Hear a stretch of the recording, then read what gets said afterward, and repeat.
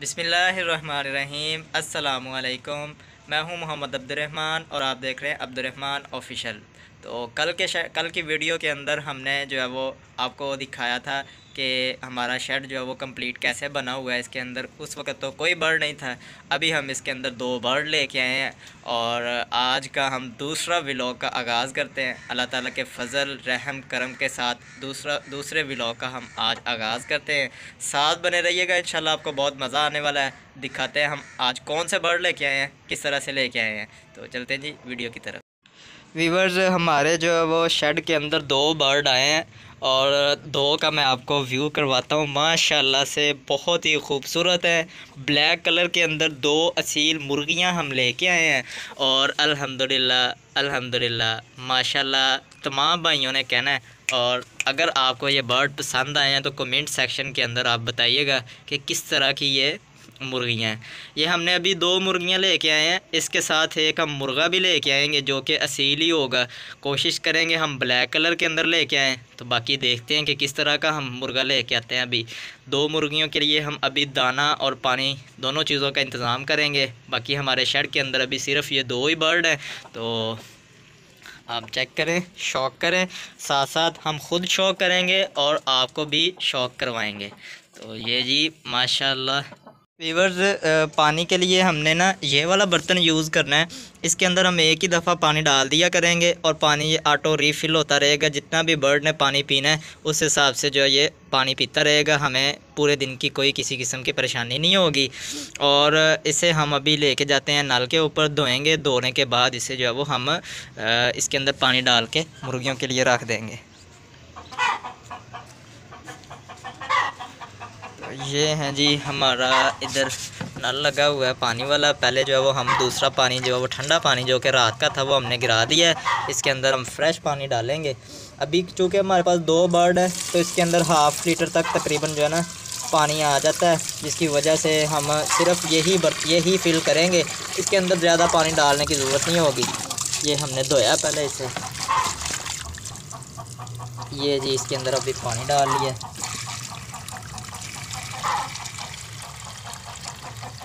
पानी हो गया जी फिल। हल्का बंद करते हैं। तो इससे अभी हम ले लेके जाते हैं जी शेड की तरफ़।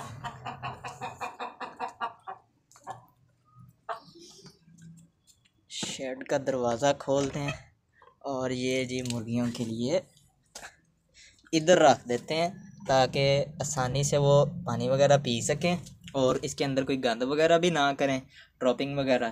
तो ये हमारी शहज़ादियाँ जो हैं दो ही हैं, पूरे शेड के अंदर तो घूम फिर रही हैं। माशाल्लाह, आपको अगर पसंद आई हैं तो कमेंट के अंदर आप ज़रूर बताइएगा कि अब्दुलरहमान भाई माशाल्लाह खूबसूरत बर्ड हैं। तो अभी हम इनके लिए एक मेल का भी इंतज़ाम करेंगे, मुर्गा भी लेके आएँगे इन तो आप वीडियो में साथ बने रहिएगा इन डेली बेसिस पे आपको जो है वो शौक करवाया जाएगा और हम खुद भी शौक करेंगे।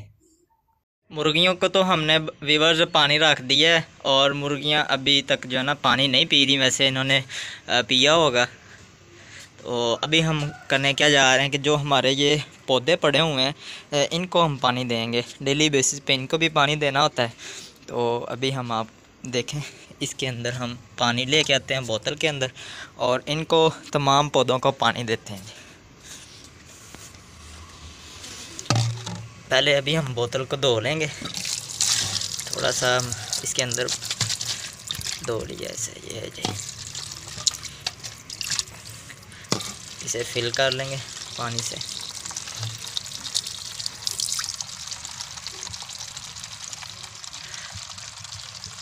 अभी जो मुर्गियों को हमने दाना डालना है, उसकी भी वीडियो मैं बनाऊँगा कि हम अभी आज के दिन बर्ड का जो है वो क्या दाना डालेंगे। कल जो है वो हम फ़ीड लेके आएँगे बाकायदा, इनके लिए दाना लेके आएँगे बर्ड का। तो मुर्गियों के लिए स्पेशल दाल दाना होता है। तो इसके बाद, पहले हम इसे पानी डालेंगे। एक बर्ड, एक पौधे को डाल दिया पानी। और ये जी बिसमीम दूसरे को डाल दिया है।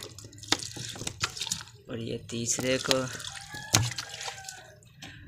चौथा, पांचवा थोड़ा को, कोई बर्ड ऐसे हैं कोई पौधे ऐसे हैं जिनके अंदर पानी ऑलरेडी मौजूद है तो फिर जब ज़्यादा पानी डालते हैं ना तो उनके अंदर ये काई बन जाती है जिसकी वजह से उनकी ग्रोथ रुक जाती है। तो इसलिए फिर हम इनको थोड़ा पानी डालेंगे। तो बाकी ये तमाम पौधों को हमने पानी डाल दिया है। और अभी हम मुर्गियों के खाने का इंतज़ाम करते हैं तो ये देखें माशाल्लाह मुर्गी ने जो है वो पानी पीना शुरू कर दिया है। पी लो पी लो पी लो पानी।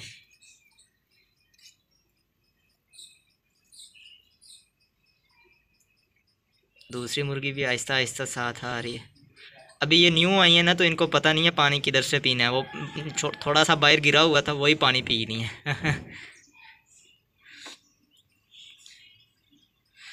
तो अभी हम इनको कुछ खाने के लिए देते हैं तो देखते हैं जी क्या नीचे पड़ा है अभी। कुछ रोटी दे देते हैं, आटा थोड़ा सा बना लेते हैं। सब्ज़ी का अगर कोई पड़ा वेस्टेज वो दे देते हैं। तो दोपहर के टाइम इनको दाना ला के डालेंगे बाकायदा।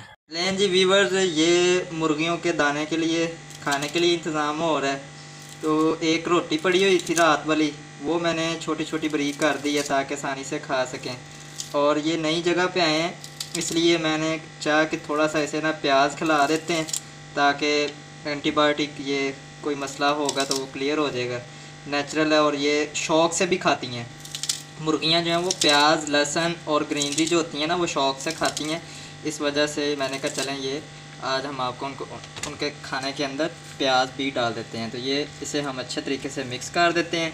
एक तो रोटियाँ भी जो ना, बारीक हो जाएँगी और इसके साथ प्याज भी मिक्स हो जाएगा अच्छा। जो है वो हमने अच्छे तरीके से मिक्स कर ली हैं, छोटी कर ली हैं और प्याज इसमें मिक्स कर लिया है। अभी हम जाते हैं जी, मुर्गियों की तरफ़ देखते हैं कैसे वो रिएक्शन है उनका, कैसे खाती हैं वो। व्यूवर्स ये मुर्गियों के सामने हम लेके आए हैं और आप इनका रिएक्शन चेक करें कि ये किस तरीके से खाने के लिए तैयार हो गई हैं। अभी हमने जो है इनको डालना है। अभी पहले चेक करवाते हैं इनको। लो जी। और दूसरी को भी डालते हैं।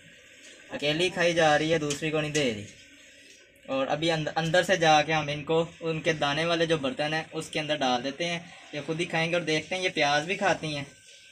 तो ये प्याज भी माशाल्लाह शौक से खा रही हैं, देख। डाल दे। ये जो है, इनका दाने वाला बर्तन है। इसके अंदर हमने ये इसका दाना जो पूरे दिन का खुराक डाल दी। दोपहर को हम इनको दाना डालेंगे, शाम को फ़ीड डाल देंगे थोड़ी सी। अल्हम्दुलिल्लाह अल्हम्दुलिल्लाह, हमने मुर्गियों को दाना भी डाल दिया है और ख़ुराक भी डाल दी है। और वो बड़े मज़े से जो है वो खाना शुरू कर दिया उन्होंने। तो आज का व्लॉग करते हैं जी हम। इसी पे एंड मिलती हैं जी नेक्स्ट वीडियो के अंदर। दुआओं में याद रखिएगा। अल्लाह हाफिज़।